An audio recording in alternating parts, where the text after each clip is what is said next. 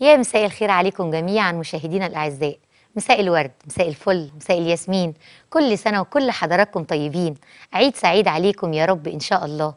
عيد أضحى سعيد على كل مشاهدينا في كل مكان. النهاردة سريعا عايزة أقول لحضراتكم إن معانا ثلاث فقرات. إن شاء الله بإذن الله. أول فقرة معانا آه، دكتور وتاني فقرة هعرفكم إزاي تجيبوا اللحمة من أماكن وإزاي تختار الأضحية الخاصة بيك عشان العيد كل سنة وحضراتكم طيبة طيبين. وكمان آه، الفقرة الثالثه هتكون المطعم إن شاء الله بإذن الله. هنبدأ معانا ومعاكم آه، بأول فقرة. والفقرة الأولى هنتكلم فيها عن ناس كتيرة جدا جدا جدا خرجت من كورونا وهم مبقلظين تخان وتخنا ومش عارفين إحنا تخنا ليه ومش عارفين نعمل إيه علشان نخس. معانا ومعاكم في الفقرة دي آه، دكتور أحمد عبد المنعم أخصائي التغذية وعضو الجمعية الأمريكية للتغذية العلاجية. بنرحب بحضرتك في بداية فقرتنا. أهلا وسهلا بك يا دكتور. أهلا بالسادة بحضرتك. المشاهدين حضرتك منورنا النهاردة. أهلا وسهلا بحضرتك منور الدنيا. نعمل إيه يا دكتور؟ تخنا يا دكتور من الحظر. طيب خلينا نعمل إيه؟ هو فعلا حقيقة طبعا آه، في الحظر الناس كلها طبعا زادت في الوزن. ولكن إحنا عايزين نعرف إيه الأسباب اللي أدت لزيادة الوزن غير ضعف الحركة؟ أنا عندي سببين أساسيين. طبعا كلنا قاعدين في البيت. مفيش خروج مفيش آه، malls آه، فاتحة مفيش shopping مفيش نوادي مفيش جيمات. فطبعا آه، بقينا نستورد سعرات حرارية عالية جدا جدا والمجهود الحركي اللي إحنا بنقدمه قليل قوي قوي وإحنا قاعدين في البيت إحنا كمصريين دايما بنفكر في نتفنن في الطبخات والحلويات والأكل اللي هو كله سعرات حرارية عالية جدا. وطبعا الحركة والمجهود الرياضي ما بنطلعش الشغل. بالظبط، بالظبط، فطبعا ما فيش. مجهود رياضي خالص. فأنا لو جسمي بيحتاج آه، يا دكتورة 2000 سعر حراري في اليوم وأنا آه، باكل وبشرب وبتحرك وبطلع الشغل بتاعي محتاج مثلا 2000 سعر حراري. تمام. آه، أنا أصبحت قاعد في البيت وأنا قاعد في البيت أنا مش أنا باخد ال 2000 سعر حراري دول زيادة عليا لأن أنا ما بتحركش. تمام. أنا حضرتك لما بحرك إيدي كده لما بتحرك أروح لغاية المطبخ أنا بحرق سعرات حرارية. في حالة إن أنا قاعد في في البيت مش بتحرك الحركة أقل فأنا محتاج سعرات حرارية أقل. أصبحت أنا باخد سعرات حرارية أزيد وبزيد عليها إن أنا بدأت أتفنن في الأكل والطبخات والجانك فود وبالتليفون بنطلب بيجي الأكل فطبعا ده بيؤدي إلى آه، زيادة الوزن. في كمان عامل مهم جدا جدا لزيادة الوزن أحب أنبه عليه. وإحنا قاعدين في البيت فترة الحظر دايما بنسمع أخبار مش حلوة. في أيام كورونا. آه، حالات ال- الإصابة بتزيد. آه، حالات وفيات. ناس كتير من. من آه، طبعا. فده طبعا بيدي أجواء من الإحباط والتوتر والقلق. وده بيخلي طبعا ده بيأثر على جميع الوظائف الحيوية للجسم. مش بالظبط. بس معدل الحرق طبعا بيأثر على حرق الدهون كتير جدا. يبقى أنا بستورد سعرات حرارية عالية جدا جدا. والحرق ضعيف لأن أنا مش بخرج نفسيتي طبعا تعبانة في توتر في قلق وخوف. وخوف طبعا ده أكيد، بيأثر أكيد. جدا جدا على آه. آه، الوزن وبيأثر جدا على آه، معدل الحرق وطبعا ده بيؤدي إن أنا جميع كل الأكل أنا باخده بستفيد بجزء منه والباقي كله طبعا بيتراكم لدهون في الجسم وعلى رأسها طبعا تراكم الدهون في منطقة البطن والأرداف بالظبط. وده اللي إحنا هنتكلم عليه إزاي آه، كنت ننزل لسه وزننا. هسأل حضرتك. اتفضل. دلوقتي أنا خلاص قررت إن أنا خس طلعت من الحظر وابتديت آه، أتحرك وابتديت أبقى أكتف وأنزل شغلي. فأنا دلوقتي إزاي أخس؟ وفي نفس الوقت يا دكتور إزاي أخس طبيعي بدون أدوية؟ وبرضه عايزة أعرف هل الأدوية مفيدة ولا مش مفيدة؟ طيب ده سؤال منطقي وجميل جدا جدا تمام. أول حاجة خلينا نتكلم عن الأدوية طبعا لأن دلوقتي بقى كتير جدا من ال- الناس مجرد ما الوزن يزيد بيلجأ لأسهل الطرق إن أنا. أروح آخد دواء أحرق بالظبط طيب مش كل دواء يناسب أي حد أه. أنا ممكن آخد دواء يضرني جدا جدا آه أنا بقول لحضرتك إن الأدوية لازم عشان آخدها آخدها تحت إشراف طبي أو مع أخصائي تغذية فاهم لأن مش كل دواء يناسب أي حد. ممكن حضرتك تبقى مريض ضغط ممكن تبقى مريض سكر ممكن يبقى عندك مشاكل صحية بعض الناس بتاخد أدوية نفسية. ما ينفعش آخد معاها أدوية تخسيس. ففي الحالة دي أنا بقول إن أنا لما بدي دواء تخسيس لازم آخد دواء التخسيس ده تحت إشراف طبي وبعد ما آه، أروح لمكان موثوق فيه وأعمل انبادي أشوف الوزن آه، عندي قد إيه نسبة الدهون الأعلى نسبة السوائل لأن بعض الأدوية بتساعد على طرح السوائل المحبوسة في الجسم وأنا قد يكون ما عنديش أصلا احتباس مية في الجسم. بعض الأدوية تضر بمرضى الضغط والكلى. فعلا يا. فإحنا بننصح إن أدوية التخسيس آه، ما ناخدهاش إلا تحت إشراف طبي وعلمي سليم. أكيد مش هعالج حاجة وأضر حاجة تانية. بالظبط. طب أنا بقى عايز أخس أو عايز أنزل في الوزن بشكل صحي وآمن وسليم. ثلاث حاجات. أنا عندي النزول في الوزن هو مثلث مكتمل الأضلاع. أول ضلع فيه أو القاعدة بتاعته هو البرنامج الغذائي.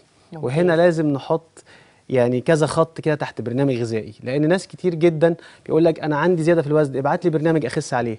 أو أنزل من الإنترنت ينزل برنامج أمشي عليه.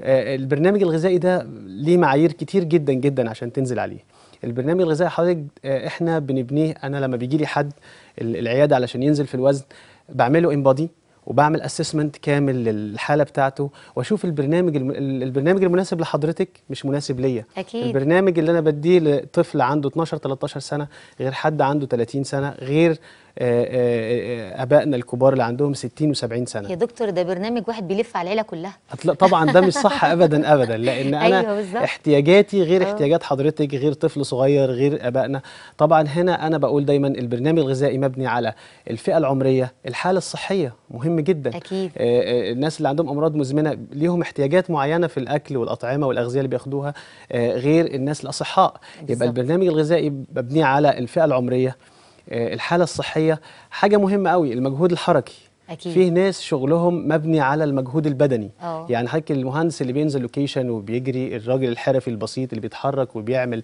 مجهود كبير ما ينفعش يمشي على برنامج بديه لحد شغله مكتبي أكيد. قاعد هو بيحتاج سعرات حرارية أعلى أكل يديله طاقة. طبعا يديله طاقة. آه،. آه، أديله نشويات أكتر لأن أنا بدي نشويات source of energy فطبعا أنا ببدأ أديله إن هو آه، لازم ياخد طاقة عشان يقدر يكمل. بالظبط. وإلا هو لو ما قدرش يكمل هيسيب البرنامج وخلاص على كده. ويدوخ آه. بعض البرامج اللي بياخدوها الناس من الإنترنت دايما يقولوا لي أنا مشيت على البرنامج أسبوعين ثلاثة وجسمي وقف. آه.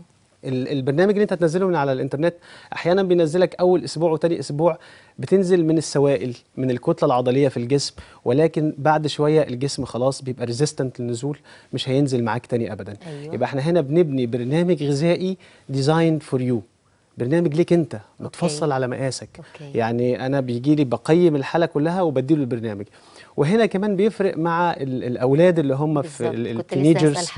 آه آه 13 سنة لغاية 18 و 19 سنة السن ده حرج جدا جدا في التغذية ال الولد بدأ يحس إن هو كبر خلاص بيطلع يخرج مع أصحابه بيبدأ ياكل آه بيبدأ. طبعا آه، junk آه. food طبعا هم عايشين. على ال junk food بالظبط عندي أنا ابني كده. آه ماشي على ال junk food. طبعا هنا بياخد بيستقبل سعرات حرارية عالية جدا جدا ويبدأ الوزن يزيد والدنيا تتضخم معاه ويبدأ يقابل حرج من زمايله ويقابل مشاكل في اللبس بتاعه.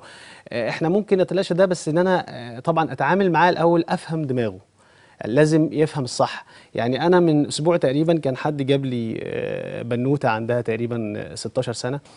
وبيقول لي أنا عايزك تقول لها ما تاكلش شيبسي ولا إندومي ولا مياه غازية ولا قلت له مش هينفع ما ينفعش إن إحنا نمنع ده مرة واحدة. أنا لازم نفسيا واحدة واحدة أبدأ آه، أدخل الخضروات والفواكه في يومه في ثقافته اليومية وأبدأ أوصل ل- ل- ل- لدماغه أتكلم معاه. لازم تصنع حوار بينك وبين المتابع أو المريض اللي بيخس.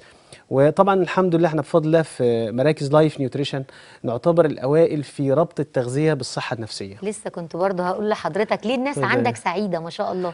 يعني كل فعلا أي patient أو أي مريض بيروح للدكتور بيعمل آه، دايت بسعادة لأن الدايت بيجيب تعاسة أحيانا. طبعا طبعا. فعايزين نعرف بقى السر يا طبعاً. دكتور. السر طبعا هو ده سر المهنة طبعا. أيوه. السر طبعا هو إن أنا فعلا حقيقي آه، بيزعجني جدا لما أعرف إن بعض الزملاء بي- بيدخل الناس اللي بتعمل دايت يدخلوا خمسة ستة مع بعض ياخدوا ورقة يمشوا عليها كلهم. لا أنا بعمل لكل آه، مريض آه، profile لوحده. أنت ليك ال profile بتاعك بقعد معاك آه وبتكلم معاك بشوف انت يومك ماشي إزاي. لازم أشوف اراعي نفسيتك. الجانب النفسي مهم جدا جدا. طبعا. لازم اعرف انت واحد بيخرج شغله من الصبح لحد بالليل. تمام. ما ينفعش أقول له على اكل معين يتطلب وجوده في المطبخ أو قاعد طول اليوم أو في حد بيعمل له اكله. أنا بحاول اقرب من ال lifestyle بتاعه. تمام. ان انت بتخرج طول اليوم خلاص انت ممكن تطلب كذا ممكن تاخد معاك lunch box فيه كذا. ال- الاولاد الصغيرين ما ينفعش تقول له كل اكلك بشكل كامل totally يبقى في البيت.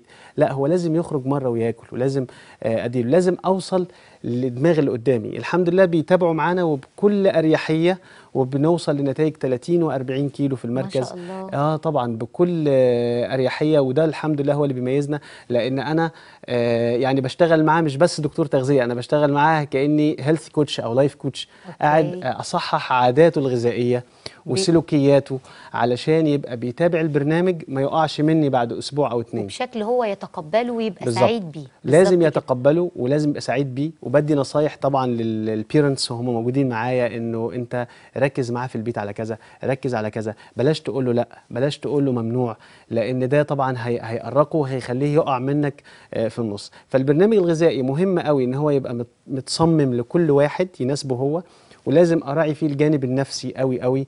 آه عندي ناس معدين ال 70 سنة ونازلين ما شاء الله وبقوا يمشوا ويتحركوا آه بكل سهولة وبساطة. يبقى رقم واحد البرنامج الغذائي. رقم رقم اتنين البرنامج الرياضي وده اللي. بيزعل ناس كتير. أه. ما بيبقوش فاضيين يا دكتور. آه ما بيبقوش فاضيين. بس آه. أنا هقول لحضرتك على حاجة. أنا مش عايزك ترهق نفسك في الرياضة قوي. أنا يكفيني 20 دقيقة بس يا دكتورة منى 20 دقيقة بس كفاية رياضة في اليوم. آه ينفع المشي يا دكتور؟ آه المشي طبعا. آه، أنت لو عايز تخس أنا هشتغل cardio الرياضة الهوائية. اطلع حضرتك امشي. آه، لو عندك treadmill اقف عليها آه، 20 دقيقة. لو تطلع تمشي في الهواء 20 دقيقة ده طبعا مهم جدا. ولكن الصح بقى إن أنا أختار وقت الرياضة الصح. إزاي اللي بقى؟ هو؟ وقت الرياضة ما ينفعش آكل وأعمل رياضة. أنا عايز أعمل رياضة النهار من النهارده. الرياضة بتاعتك تكون على معدة فاضية. بعد تمام. الأكل بثلاث ساعات. ليه؟ يعني الأيام دي إحنا في ناس كتير مننا صايمين. آه كل سنة وأنتم. طيبين. وحضرتك طيب. آه الناس كلها صايمة دلوقتي. أقول لك على الساعة الذهبية للرياضة. قبل الفطار بتاعك بساعة قبل الفطار قبل المغرب بساعة اطلع امشي نص ساعة. ما شاء الله. في الحالة دي آه، آه، السكر في الدم بيبقى في أدنى مستوياته. فأنا لما هحرق هحرق من الدهون المختزلة في الجسم. ممتاز. يبقى النص ساعة رياضة دي هتستهدف الدهون. وخصوصا الدهون اللي موجودة في منطقة البطن والأرداف. قبل الفطار. قبل الفطار ممتاز. بساعة أطلع أعمل رياضة لأن بيكون وفي السكر في أدنى العادية على مستوياته على غيار الريق؟ وفي الأيام العادية مش شرط ممكن بعد الغداء بساعتين أو بثلاث. ساعات. بس أكون هضمت وتخلصت من الأكل ده أبدأ إن أنا أعمل رياضة. لكن آكل وأطلع أعمل رياضة. طبعا ده مش صح ابدا. لو أنا عايز أنزل وزني تمام. لكن أنا ممكن أقول لحد كل واعمل رياضة لو هو مثلا هيزيد في الوزن أو في حالات تانية أوكي. إنما أنا بعد الأكل بثلاث ساعات أبدأ أعمل exercise وتكون رياضة المشي الرياضة الهوائية اللي هي بتساعد على نزول الدهون يبقى إحنا كده قلنا برنامج غذائي design for you exercise exercise أو تمرينات بح- ب- رياضية التمارين تمام. علشان تناسبك وتنزل وزنك رقم ثلاثة العامل المساعد العامل المساعد ده إحنا بنقول آه طبعا هيساعدك كتير جدا في ال shaping أكتر أوكي. في تعديل المقاسات اللي هي أجهزة التنحيف. أجهزة دي موجودة التنحيف في المركز يا دكتور؟ آه موجودة في مراكز لايف نيوتريشن زي ما حضراتكم سامعين آه، اللي عايز يتواصل مع دكتور أحمد اللي عايز يروح المركز كل العناوين موجودة على الشاشة دلوقتي. كمان التواصل مع دكتور أحمد روحوا وهتخسوا ب shape جميل كمان. آه طبعا الأجهزة آه الموجوده في لايف نيوتريشن آه أجهزة أوروبي أجهزة جايبة نتائج كويسة جدا لأن إحنا شغالين بتقنية كده مختلفة تقنية ultra ثلاثية الأبعاد لتفتيت الدهون وشد ترهلات الجسم. آه ال cryolipolysis بيشتغل على إن أنا أعمل freezing لل fat cells وابدأ آه آه يعني كل التقنيات الحديثة اللي موجودة آه للتنحيف بتجيب نتائج لكن هي ممتاز. بتفرق في في نوع الأجهزة آه. أو في المكان اللي أنا بثق فيه يعني إحنا شغالين بأجهزة أوروبي تقنية عالية جدا جدا من بداية من ال cavitation ال ultrasound لو بيشتغل على تفتيت الدهون والتخلص منها ال cryolipolysis وهنتكلم one one ونفصل اللي هو بيشتغل إزاي آه مرورا بالميزوثيرابي. يعني أحدث تقنيات التخسيس الميزوثيرابي. هكلم حضرتك عن ال ultrasound cavitation ده بيشتغل على تفتيت الدهون وتحويلها من كتلة صلبة إلى كتلة سائلة وبالتالي نبدأ الجسم يتخلص منها. ال radio frequency عشان يعمل toning و stretching ال skin هو يبدأ يشد الترهلات بعد النزول في الوزن. ال cryolipolysis. ال cryolipolysis اللي هو التخسيس عن طريق التبريد. إن أنا بعمل suction لل fat cells دي وبيبدأ يحصل لها تجميد للدهون بيبقى حتى ملمسها باين أثناء الجلسة إن أنا عملت. تجميد للدهون وبالتالي تكسير الدهون والتخلص منها. والأهم هو الميزوثيرابي ده أحدث ممتاز. التقنيات. الميزوثيرابي ده بيشتغل إزاي يا دكتورة؟ آه، دايما آه، مش صح إن حد وزنه 120 كيلو ويشتغل mesotherapy. ال mesotherapy ده حقن. آه، إمتى بيشتغل ميزوثيرابي؟ حد نزل في الوزن وزنه نزل كويس جدا جدا وخلاص وزنها بقى 65 كيلو بقى 63 كيلو. بقى. بالظبط. عندي حزام في البطن بالظبط. خاصة السيدات بعد الولادة. عندي حزام في منطقة البطن. إزاي أشتغل؟ دي الدهون العنيدة. تمام. لو عملت دايت مش هتخس ولو عملت رياضة مش هتنزل. فهي دي اللي بنشتغل لازم- عليها بالميزوثيرابي. بالظبط. لازم أتدخل بالميزوثيرابي عشان آه، أسيطر على الدهون دي وأبدأ أتخلص منها بشكل نهائي. تمام يا دكتور. نصيحة أخيرة للمشاهدين إحنا داخلين على العيد الكبير. إزاي آكل لحمة؟ ودهون وما تخنش. طبعا كل سنة وأنتم طيبين. فقرتنا خلاص. وهناكل هناكل آه، آه، لحمة كلنا في العيد. آه، نصايح بسيطة قوي بس. أنا عايزك تشرب من 3 ل 5 من 3 ل 4 لتر مية في اليوم. ما تنساش ابدا شرب المية. الوجبات بتاعتي تبقى ثلاث وجبات متوازنة فطار وغدا وعشاء. وآخد بينهم وجبتين وجبات خفيفة عبارة عن فاكهة أو مكسرات. طيب آكل اللحمة إزاي؟ هقول لحضرتك على حاجة بسيطة قوي. انت تاكل اللحمه زي ما انت عايز بس هخليها تبقى مسلوقة أو مشوية. بلاش تكون متحمرة علشان الدهون الزيادة. الفتة بقى والرز هو ده موضوعنا. عايز حضرتك تكون ذكي أو نتذاكى على المخ. هناخد ال ال ال ال الفتة بتاعتنا أو الرز طبق صغير. خد طبق صغير وخد قبله طبق سلطة ومعاه كوباية مية. قبل ما أبدأ الأكل آخد كوباية مية بعدها طبق سلطة لأن ده ال- الفايبرز أو الألياف بتحسسني بالشبع بتملى المعدة وفي نفس الوقت وبالتالي. هاخد اللحمة بعد كده وأبدأ آه. آخد طبق الفتة الصغير أنا بعمل خداع للمخ إن أنا هشبع بده وبالتالي بيحصل شبع. وطبعا بعدها بشوية باخد مكسرات أو فاكهة وبعدين باخد وجبة العشاء تبقى خفيفة جدا جدا وليكن زبادي مع ليمون وكل سنة وأنتم طيبين وإن شاء الله عيد طيب سعيد. عليكم جميعا. كل سنة وحضرتك طيب يا دكتور. استمتعنا حضرتك بالفقرة طيبة. مع حضرتك. في نهاية الفقرة بنشكر دكتور أحمد عبد المنعم أخصائي التغذية وعضو الجمعية الأمريكية للتغذية العلاجية. فاصل ونعود. أهلا وسهلا.